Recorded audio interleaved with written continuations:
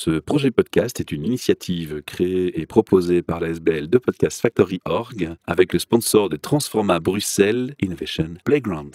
Et vous retrouvez tous les épisodes sur le site whatsyourstory.be.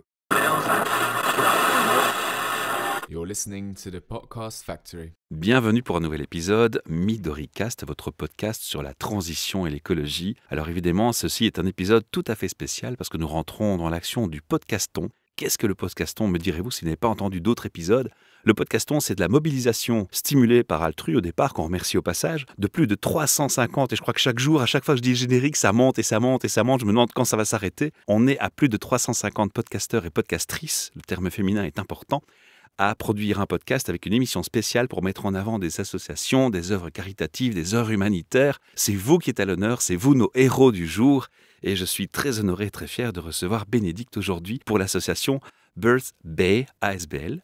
Alors, il faut savoir que vous allez pouvoir, chers auditeurs, faire des dons à cette association et la soutenir dans son action si elle vous touche, si elle vous parle dans votre cœur. Comment ça se passe? Vous irez sur le site de podcaston.org. Cette association sera reprise dans une liste et vous pourrez faire un don. Alors, première chose quand on reçoit quelqu'un, c'est de le présenter. Donc, Bénédicte, je vais te demander en quelques mots de me résumer qui est Bénédicte en fait. Qu'est-ce qui t'anime au quotidien et pourquoi l'environnement te touche? Je suis née à la campagne avec des parents qui aiment la terre, qui aiment les choses naturelles, qui avaient leur potager, des petits animaux, etc. Tout pour l'écologie, bien sûr. Et puis, ben, un jour, est arrivé dans notre jardin un bébé écureuil. Mes trois enfants, tout de suite, oh chouette, on va pouvoir jouer avec, le garder et tout. Et je dis, oh, oh c'est un animal sauvage. C'est Non, pas un jouet. Ce n'est pas un jouet.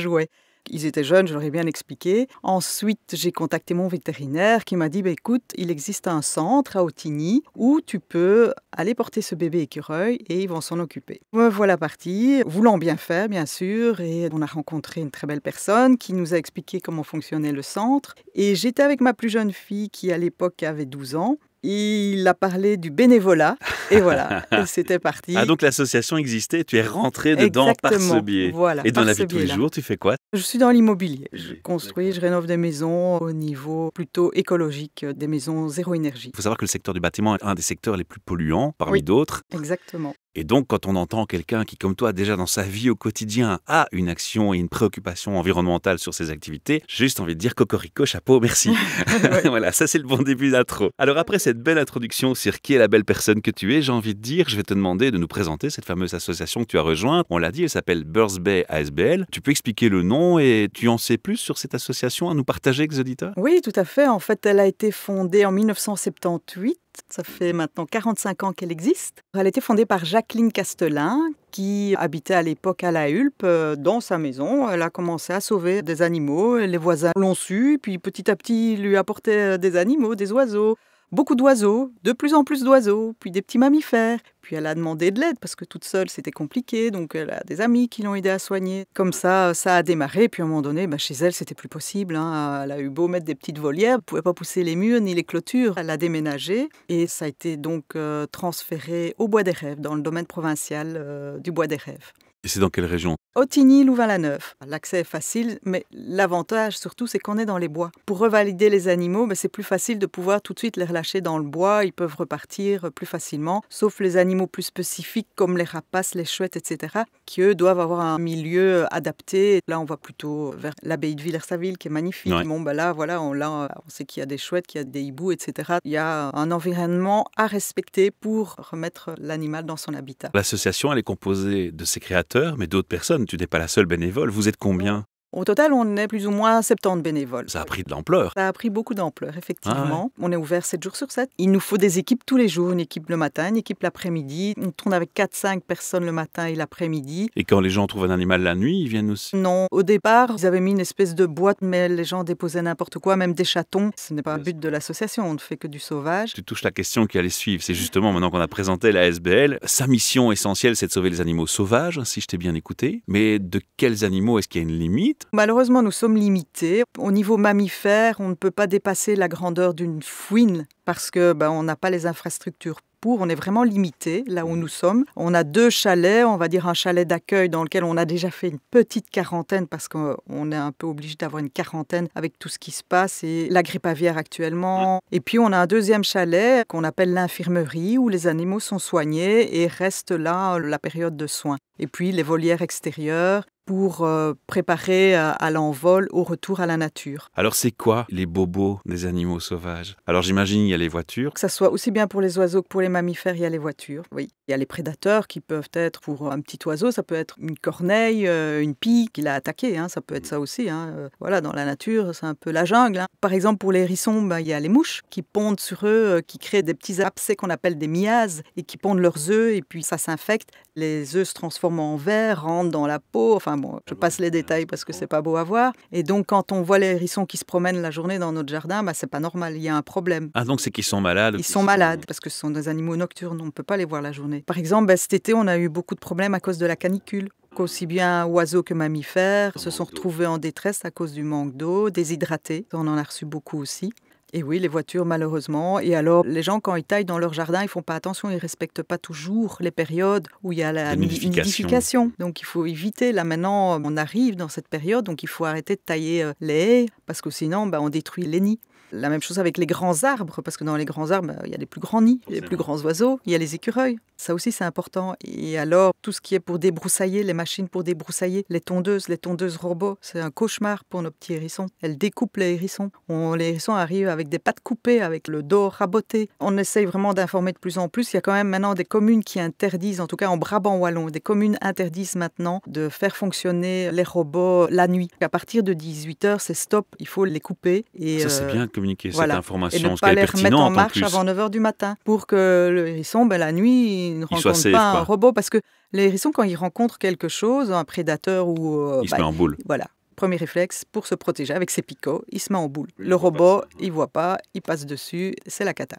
Ça mène à la mission, aider les animaux sauvages, mais comment est définie la mission de la SBL Est-ce que c'est plus large? Est-ce qu'on parle de communication, de sensibilisation? Parce qu'ici, on parle clairement de sensibilisation vers du public maintenant. Tu peux m'en parler? On a plusieurs missions parce qu'on veut, oui, sensibiliser les gens et surtout euh, les toucher. Donc on va dans les écoles pour toucher les jeunes et en particulier les enfants. Donc vous ne contentez pas de soigner les animaux, vous allez Non. sensibiliser dans les Voilà, écoles. pour leur expliquer quoi faire quand on trouve un animal sauvage dans son jardin et que trouver un hérisson donc en journée c'est pas normal. Un écureuil qui se promène au sol, un tout petit, c'est pas normal non plus. Un oiseau avec une aile déployée qui se traîne aussi sur la route ou au bord de la route, c'est pas normal. Et c'est un bon public, les enfants. Ils ont un Bien grand cœur et eux, les animaux, ça leur parle. Exactement, eux ils sont naturels, ils veulent tout de suite agir, tout de suite faire quelque chose. Donc ce qu'on fait c'est pour qu'ils interpellent leurs parents. C'est les adultes les plus idiots dans l'histoire parce qu'ils ont oublié leur cœur, ils ont oublié leurs sentiments, ils ont oublié de s'émerveiller de la nature parce qu'ils sont de la tête dans le travail et finalement ils deviennent inhumains par rapport aux animaux. Oui, c'est un peu ça malheureusement. Ils vont à toute vitesse, ils bossent, ils bossent, ils bossent et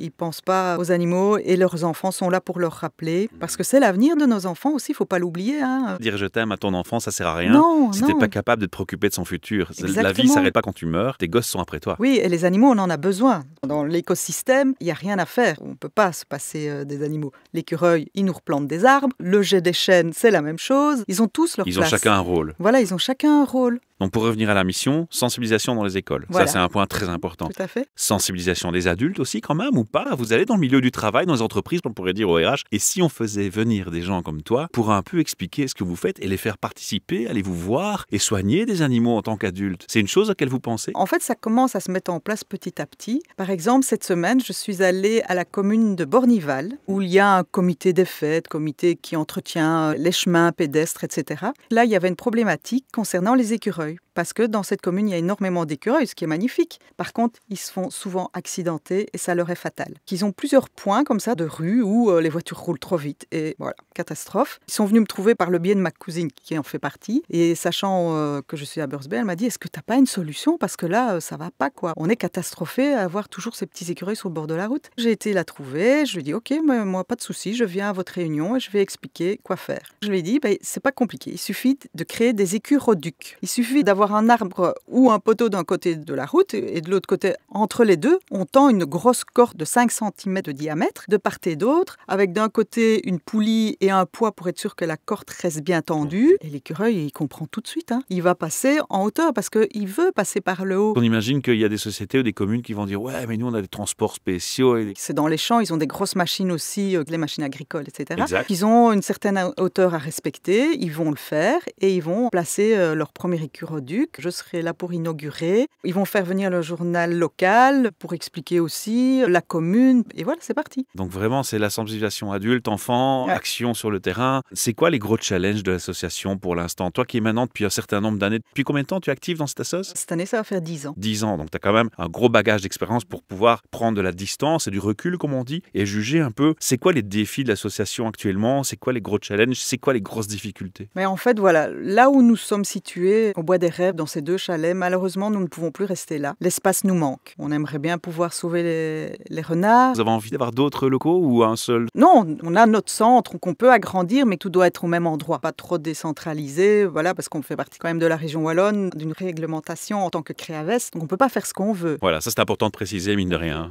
Non, on est vraiment régi par la région wallonne et par la province. Eux nous demandent de prendre plus d'animaux. Ils nous posent la question, mais pourquoi vous prenez pas les renards? On n'a pas l'infrastructure, il faut la place, et ça, on ne l'a pas.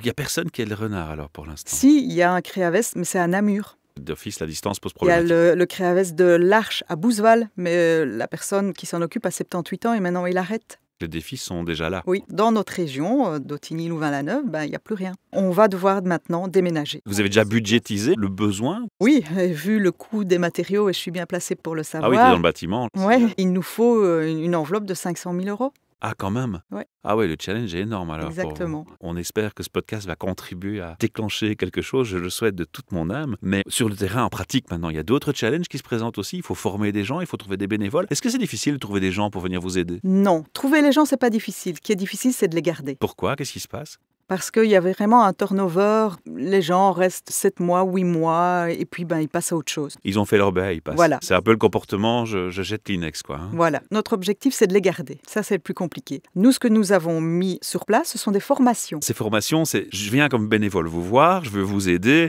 Bah, j'y connais rien. Je suis pas vétérinaire, j'ai pas forcément des notions de science appropriées. Je peux donner la bectée aux petits animaux avec une petite seringue ou des choses comme ça. J'imagine que c'est comme ça qu'on commence. Voilà. Mais vous allez plus loin. Bien sûr. Nos formations, ben, il y a une formation ancien bénévole, une formation nouveau bénévole pour nos responsables d'équipe. Et maintenant, ces formations, en fait, elles sont données par une vétérinaire, par une aide vétérinaire et par notre ornithologue. Waouh. Donc le côté médical, il est cadré. Exactement. On apprend comment soigner l'animal, comment mettre un bandage à une aile, qui n'est pas évident, hein. déjà. Là, déjà en tant qu'être humain, ouais. se mettre un, mettre un bandage à un poignet, bon, C'est voilà. déjà compliqué pour Mais certains. une aile, euh, c'est pas évident. Donc quelqu'un qui arrive, bah, qui dit oh là là, mais je sais pas trop ce que je vais pouvoir faire et tout. Bon bon voilà, on le prend en écolage et là il va pouvoir d'abord dans un premier temps s'il parce que bon les dates de formation vont peut-être pas coïncider. Chaque responsable d'équipe, donc le matin il y en a un, l'après-midi il y en a un aussi, prend la personne avec lui et lui montre tout ce qu'il y a à faire et petit à petit. euh, Donc c'est d'abord un transfert de marques. talent. Tout à fait. Ça peut être n'importe qui. On a des jeunes de 13 ans, 16 ans, 20 ans, comme on peut avoir une personne de 60 ans, de 70 ans qui est pensionnée et qui a envie de s'occuper à quelque chose. hein. Il y a vraiment tout âge. On a eu la chance d'avoir un don il y a de ça 3 ans euh, qui nous permet là maintenant de continuer, c'est de pouvoir avoir la vétérinaire. Ah oui, parce que vous devez la payer. Elle ne fait pas ça bénévolement, Non, elle. on a deux employés en fait. C'est la vétérinaire qui vient 4 jours semaine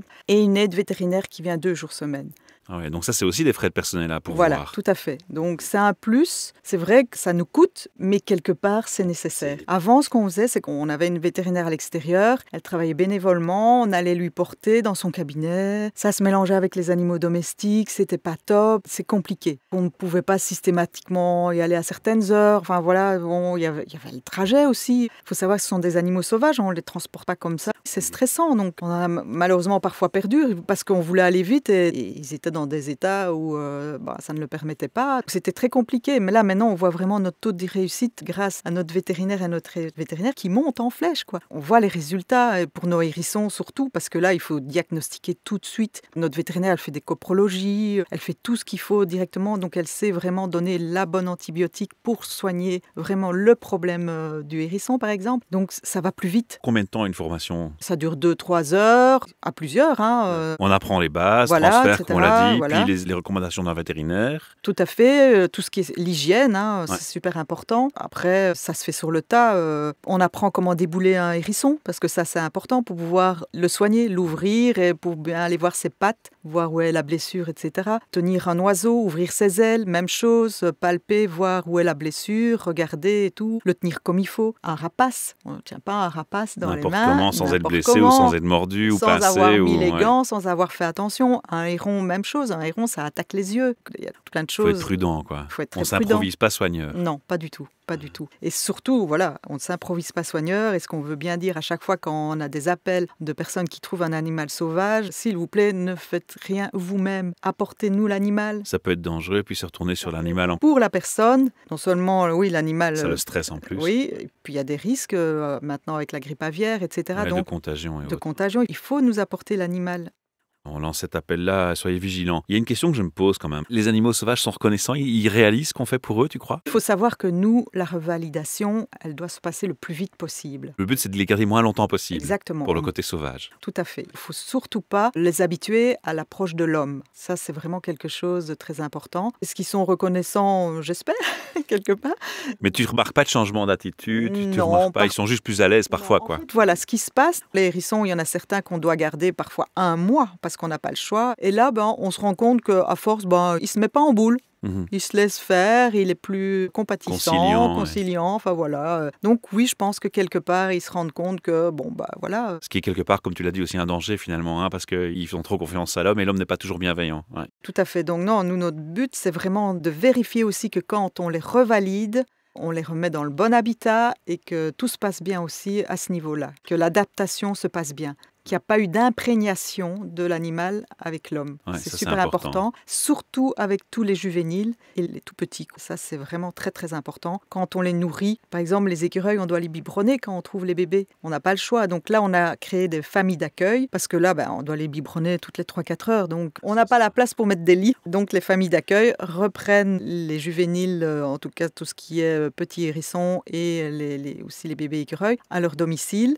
Ils ont été eux-mêmes formés pour biberonner, etc., euh, correctement. On leur demande bien de surtout pas s'attacher. de surtout pas le mettre en contact avec leurs animaux domestiques et de vraiment euh, les écarter très vite, de mettre dans une pièce où il n'y a pas du va-et-vient, etc. Qui reste sauvage où il n'y a pas possible. de bruit. euh, voilà, c'est ça. Mais c'est difficile hein, parce qu'un bébé écureuil, quand vous commencez à le biberonner, ben, il vient se coller à votre main et tout. Si vous laissez fait, il, il monte sur votre bras, il vient se coller, se cacher dans le cou Ah, et c'est tout. C'est craquant.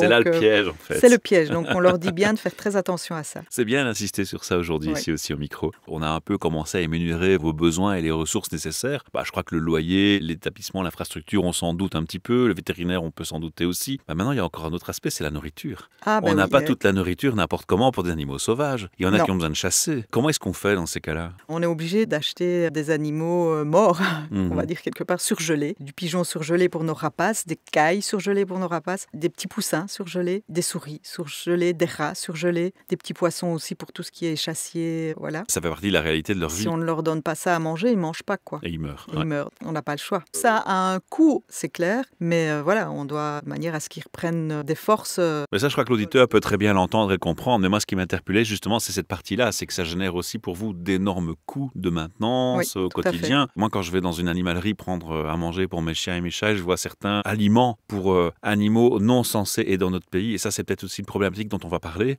Quand je vois les prix, je me dis, ah bah, il faut un fameux portefeuille pour euh, avoir un boa chez soi. quoi. Là, maintenant, on arrive aux animaux euh, non classiques, qui ne sont pas censés être en Belgique. C'est aussi un problème pour vous. Vous avez parfois des gens qui viennent avec un animal qui, bah, sincèrement, c'est pas votre mission. quoi. Euh, on vous amène son iguane malade ou Oh non, ça, n'arrive va, jamais. ça parce vous que échappe. Là, déjà par téléphone, on le dit, voilà, nous, on ne fait pas les animaux exotiques. D'office, on a des adresses vers lesquelles on les redirige.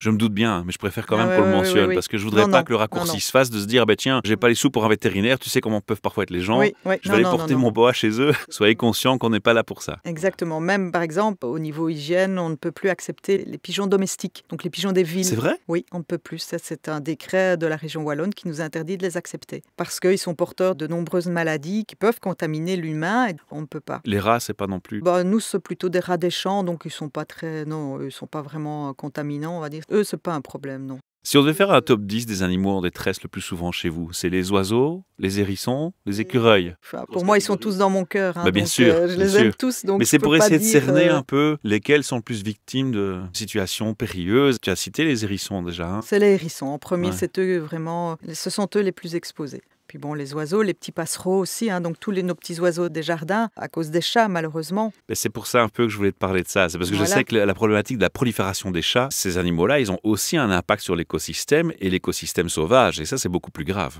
Tout à fait. Il y a une sensibilisation qui est faite sur cet aspect-là? On le dit effectivement aux déposants quand ils nous apportent une petite mésange que leur chat leur ont ramené dans la gueule. euh, bah, On dit mais non, écoutez, vous devez éduquer votre chat. Et donc maintenant, on va chercher toutes des petites astuces qu'on trouve sur Internet. C'est pas très compliqué. hein. Comment éduquer le chat? En fait, le chat, il- c'est un chasseur né. C'est son instinct, mais il est domestiqué. Donc ce qu'il faut, bah, déjà le nourrir correctement. Et puis il faut l'occuper. Ah. Par exemple, moi, mon chat, j'ai investi dans une canne à pêche, une petite canne à pêche. Au bout, il y a un petit poisson en peluche et je m'amuse, je lance la canne à pêche, je joue avec, tout en étant de l'autre main sur mon PC et voilà, je l'occupe. Il faut jouer avec. Mais bon, ça, c'est quelque chose qu'il faut faire euh, soi-même. Mais il y a d'autres petits jeux, des petites balles qui tournent en. Ouais, qu'on leur place, voilà, qu'on leur etc. place. Donc il faut les occuper, en fait. Mais ça, c'est un truc que je connaissais pas, tu vois. Pourtant, j'ai un chat, mais bon, j'ai une petite fille, elle joue assez avec le chat, je ne suis pas trop tracassé. Mais effectivement, ça, c'est un- une bonne astuce qu'on peut donner à nos auditeurs, tu vois. On a même un impact immédiat pour nos auditeurs qu'on peut euh, communiquer Magnifique. vers eux. Évidemment, dans le texte descriptif de ce podcast, il y aura les liens vers les sites internet. Vous avez plusieurs sites internet et vous avez aussi des pages sur les réseaux sociaux. On a notre page Facebook, Birds Bay, tout simple. Si tu pouvais maintenant donner un message à nos auditeurs, voilà, dans l'urgence, on a dit il faut 500 000 euros pour l'infrastructure. Vous avez besoin de bénévoles aussi? On a toujours On besoin lance de l'appel en bénévoles. permanence pour tout ça? à fait, oui. On a tout le temps besoin de bénévoles pour nous aider. Parce que là, maintenant, on va rentrer dans la période la plus importante. Le printemps, ben, il y a beaucoup euh, plus de juvéniles qui arrivent, de tout petits oisillons, de petits mammifères. Et donc là, on a vraiment, vraiment besoin de beaucoup de mains pour venir nous aider à les nourrir.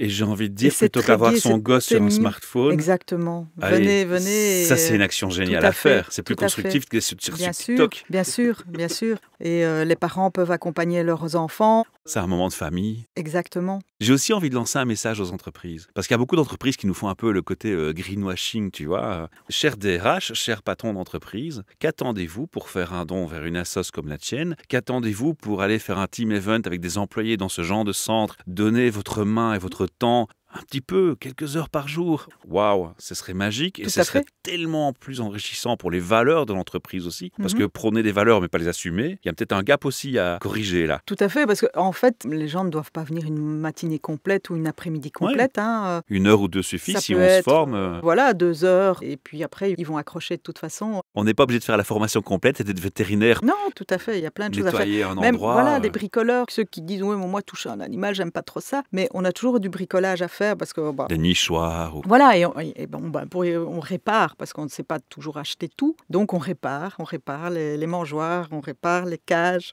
Bon, appel aux bricoleurs, les voilà, gars. les bricoleurs peuvent Et venir. les bricoleuses. Et bricoleuses, bien sûr. J'étais vraiment enchanté d'échanger avec toi. Est-ce qu'on a couvert tous les aspects de l'association que tu aurais voulu couvrir aujourd'hui? Je veux juste donner une petite idée quand même euh, par rapport au nombre d'animaux qui rentrent, parce que là, on, vient de faire le bilan de l'année 2022. Donc voilà, nous avons accueilli 2165 animaux sauvages quand même. Ah ouais. Voilà.